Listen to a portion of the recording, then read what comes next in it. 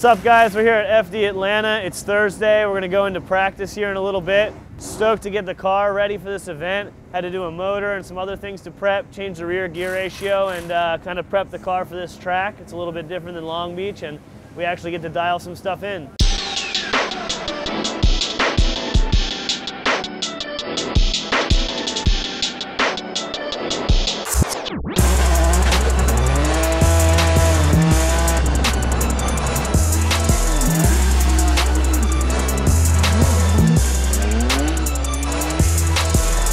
Does that? It rained a little bit during the second session, but we were able to get some dry laps in the first.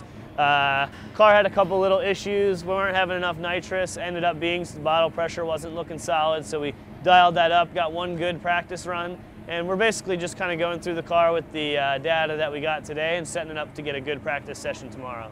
So this is part one of Say Howdy Get Rowdy Formula Drift Atlanta. We got two more parts coming on Saturday and then shortly after the event, so stay tuned and uh, you'll follow us through the day.